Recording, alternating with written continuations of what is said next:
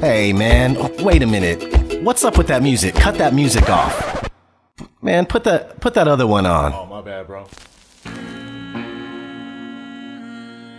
Yeah, there we go. That's better. Let's start the video over, man. What's wrong with you? ODD TV. For years, Bill Gates has been the spokesman for worldwide pandemics and mass vaccination campaigns. He has gone on record many times saying that the world was not ready for the next pandemic. We're not ready for the next epidemic. We're not ready for a serious epidemic, an epidemic that would be more infectious and would spread faster than Ebola did.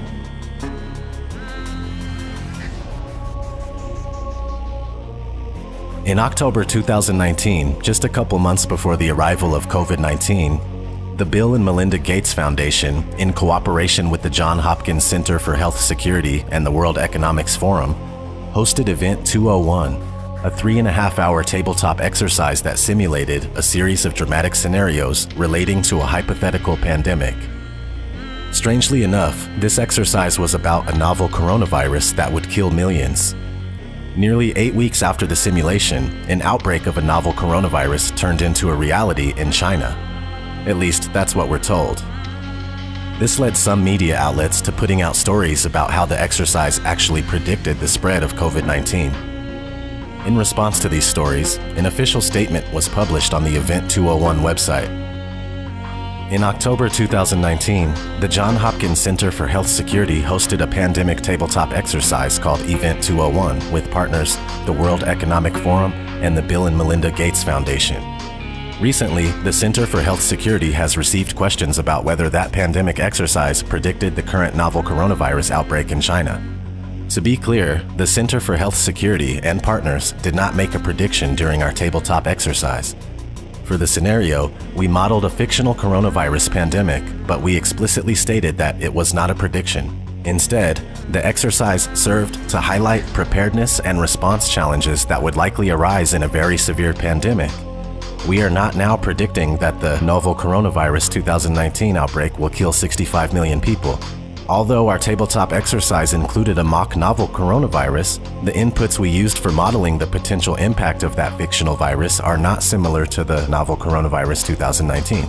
On March 13th, about a day after the world began locking down due to the virus, Bill Gates stepped down from the public board of Microsoft to dedicate more time to the philanthropic properties including global health and development, education, and my increasing engagement in tackling climate change co-founder Bill Gates is going to be stepping down from the company's board of directors. As the pandemic swept across the earth, Gates has been elevated to a status of supreme authority for the pandemic crisis, appearing all over mass media to share his views and recommendations.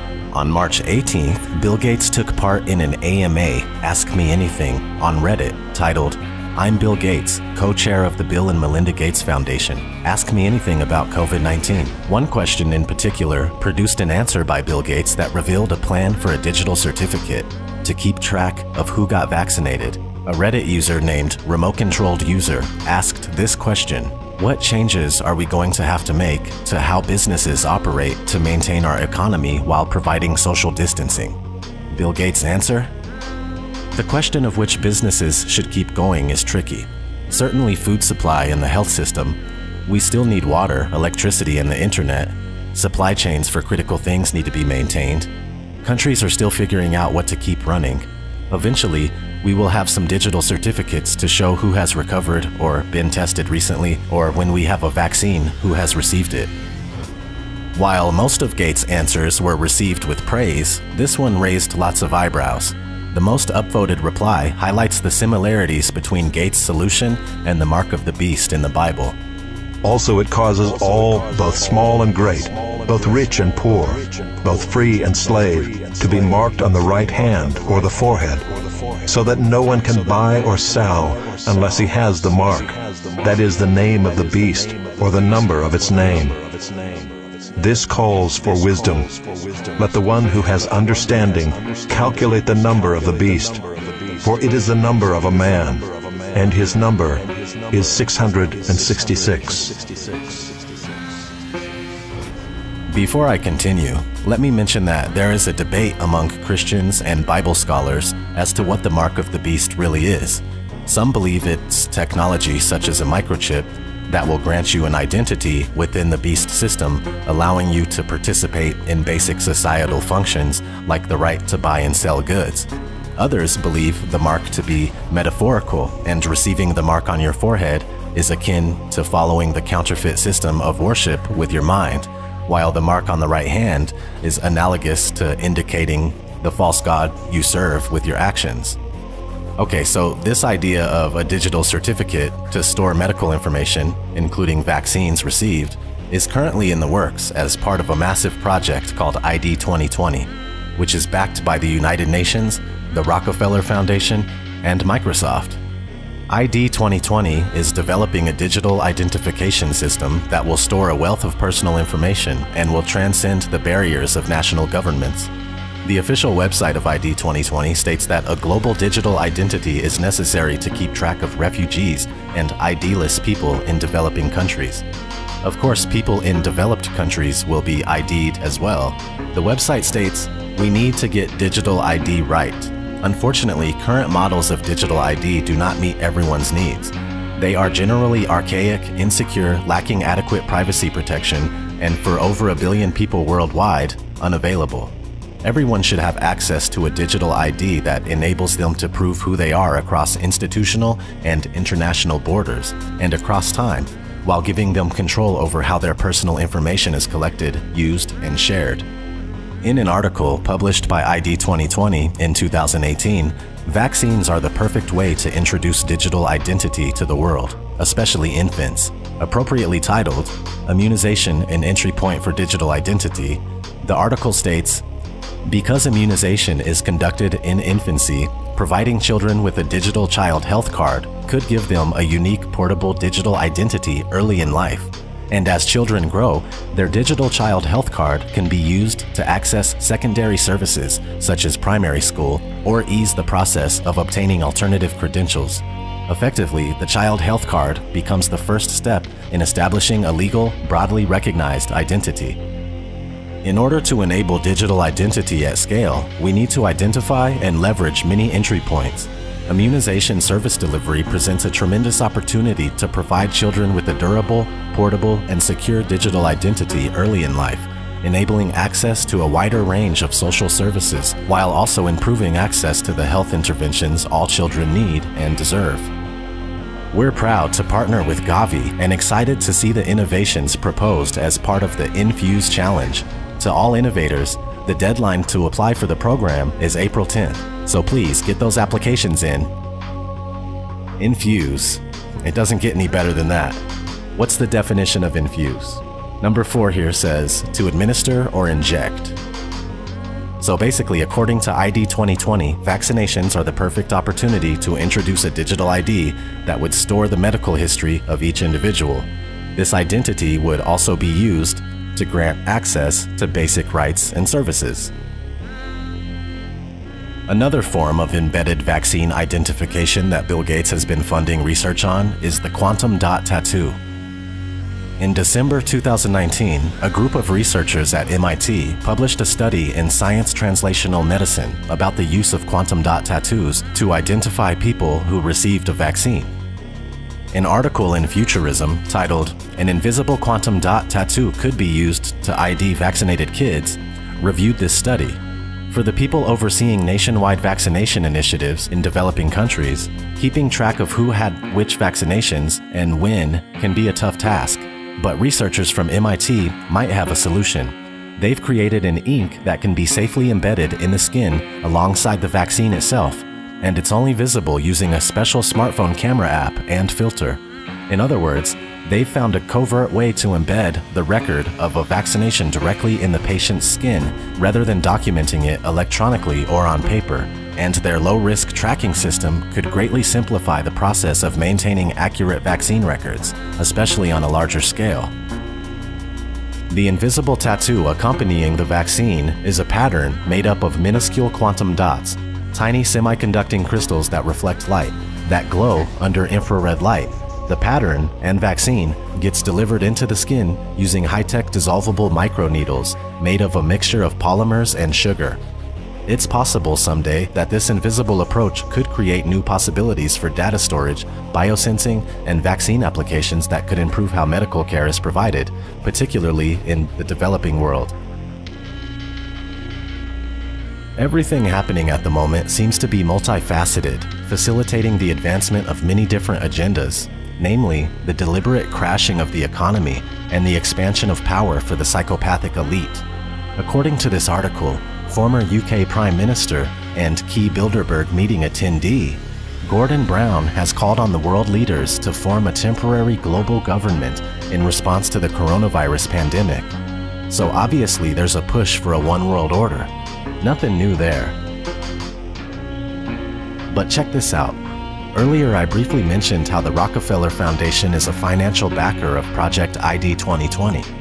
The Rockefeller Foundation published a report called Scenarios for the Future of Technology and International Development.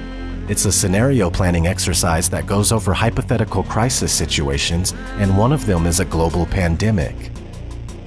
One of the four narratives in the book is titled Lockstep, subtitled A World of Tighter Top Down Government Control and More Authoritarian Leadership with Limited Innovation and Growing Citizen Pushback. I'm going to read some of this, but keep in mind that this was published in 2010, so obviously it was written in the same year or even earlier. But it starts off in 2012, the pandemic that the world had been anticipating for years finally hit. Unlike 2009's H1N1, this new influenza strain originating from wild geese was extremely virulent and deadly, even the most pandemic-prepared nations were quickly overwhelmed when the virus streaked around the world, infecting nearly 20% of the global population and killing 8 million in just 7 months. The majority of them healthy young adults.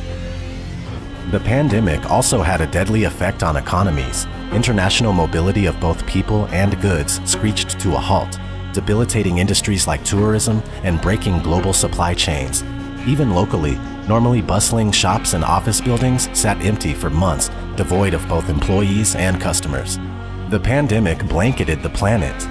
Though disproportionate numbers died in Africa, Southeast Asia, and Central America, where the virus spread like wildfire in the absence of official containment protocols.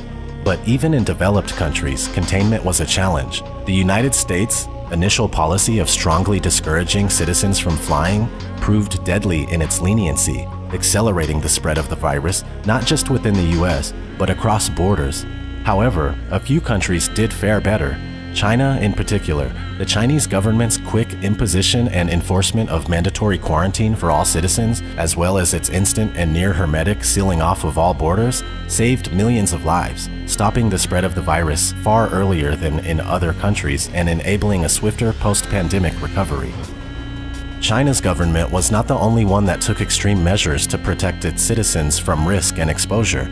During the pandemic, national leaders around the world flexed their authority and imposed airtight rules and restrictions, from the mandatory wearing of face masks to body temperature checks at the entries to communal spaces like train stations and supermarkets.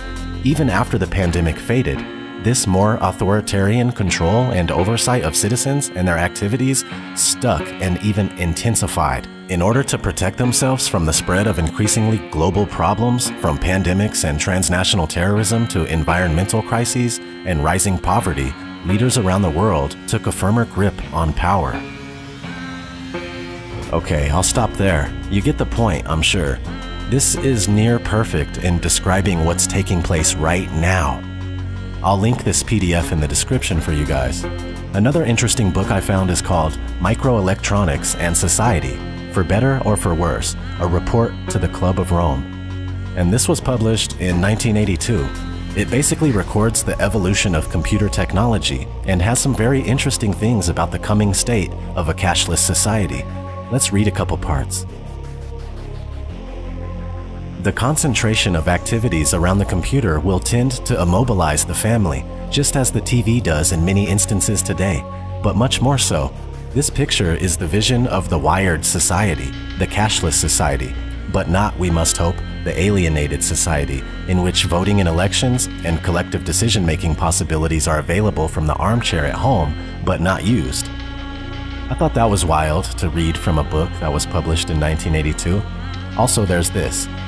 The unique characteristics of these systems make the application of existing consumer protection laws unclear, leaving the rights and liabilities of users undefined. Regulation E, Electronic Funds Transfer 1980 of the Board of Governors of the Federal Reserve System from which the above was quoted, was designed to react to that concern. With the advent of videotex terminals in the home and the generalization of such systems, the terms relating to transactions need to be explicit. The move to the cashless society seems inevitable given the technological push provided by microelectronics and the significant cost advantages associated with the transfer of funds electronically. The Club of Rome is a powerful collection of international elites who claim to serve humanity as a premier environmental think tank and consultants to the United Nations. Here's a quote from a book written by the club's co-founder, The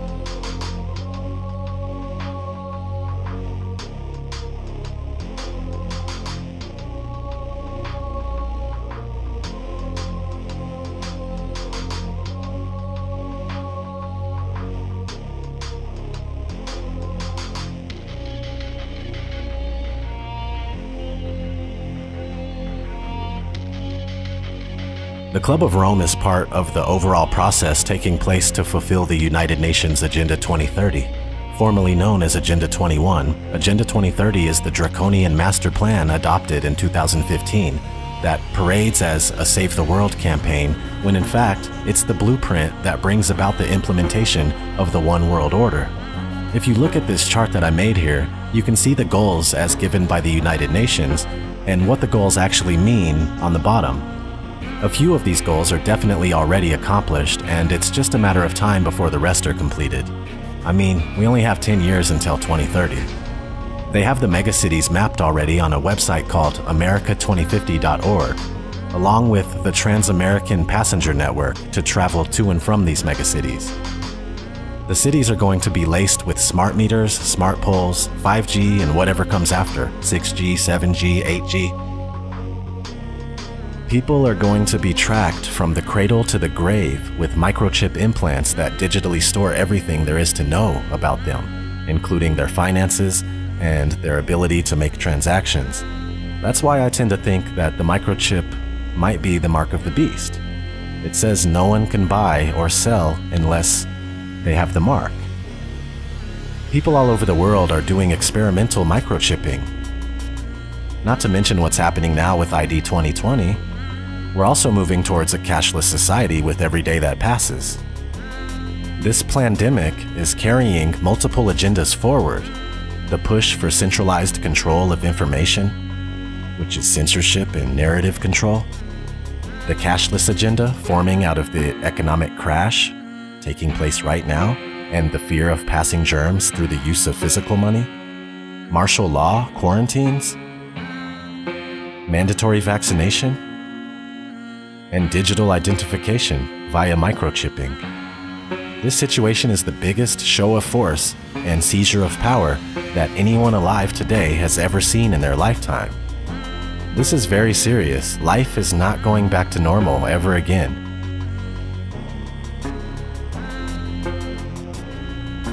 It truly is the end of the world as we know it. We need to take a stand. Refuse forced vaccines destroy 5G technology any chance we get, and don't let them fill you up with fear. From what I gather, they lose in the end anyway. You know, I really hope that's true. And this life is only temporary, so don't be scared. Be strong and stand up for yourselves.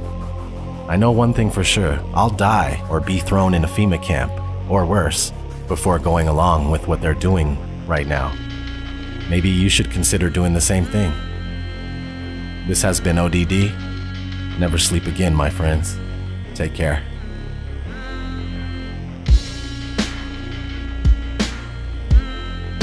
So, this is where the microchip implant story begins.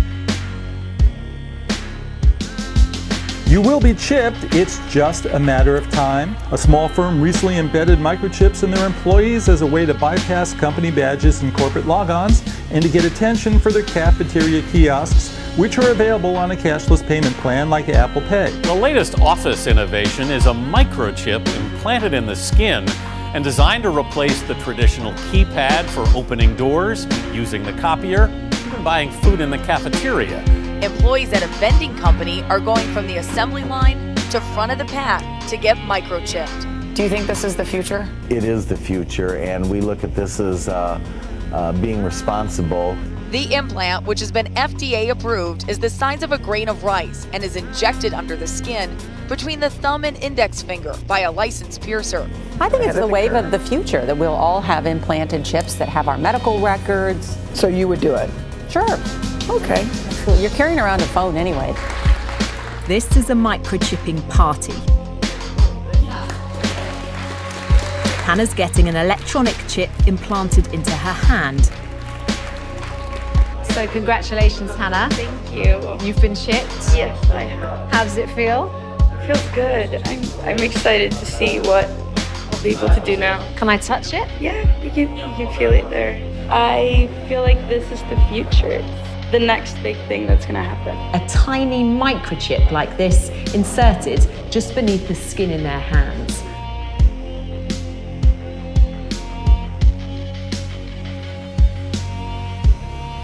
This technology will, one day, change the way we live. That in the future, we will all be chipped. In Sweden, the microchips are already here.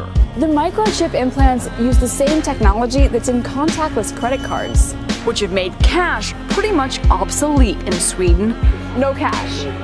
Is a cashless society inevitable? How long will it take before we're cashless? Many countries are fast moving towards a cashless society. Between 2000 and 2015, non cash payments in the U.S. grew by almost 400%. Venmo, the mobile app where people can pay each other on a smartphone, now processes $2 billion a month.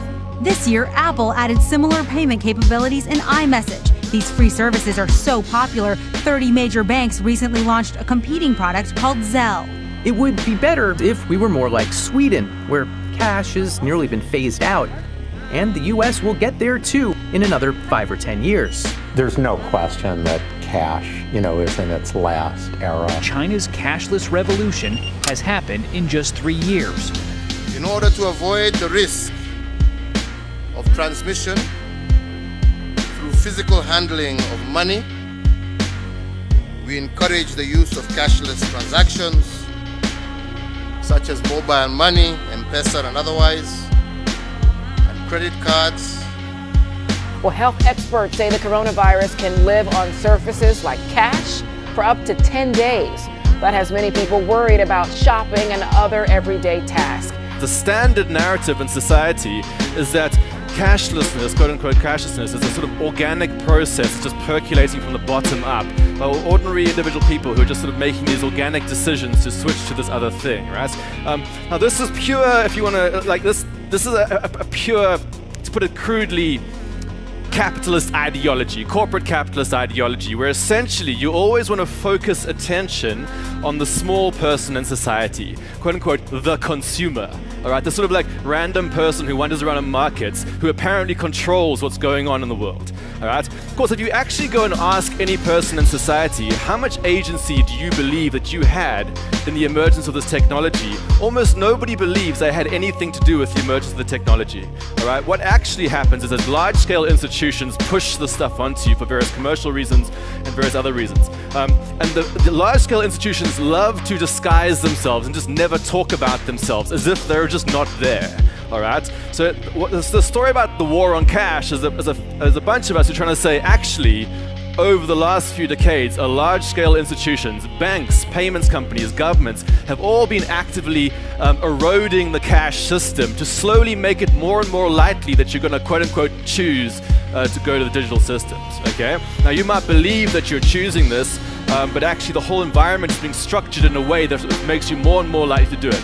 The biblical entry point for any discussion of the one world economic system, a, a cashless society, and end time prophecy is Revelation 13 16 to 18. He causes all, the small and the great, the rich and the poor, and the freemen and the slaves, to be given a mark on their right hand or on their forehead. And he provides that no one should be able to buy or to sell except the one who has the mark, either the name of the beast or the number of his name. Here is wisdom. Let him who has understanding calculate the number of the beast. For the number is that of a man, and his number is 666. The Bible clearly links the global mark of the beast system with the emergence of a cashless society. One world government, a new global economy ruled by one man is coming. A banking overlord is coming. And he'll have a solution that everyone will indeed, quote, bow down to, end quote, and he's called Antichrist. And he will have his mark. He will do this for increased control of commerce. It will be perfect and complete control. His economic policy is very simple take my mark and worship me or starve. No mark, no merchandise.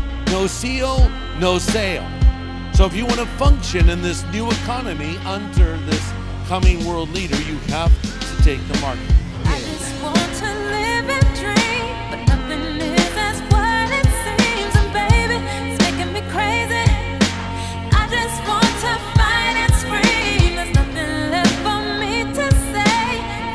to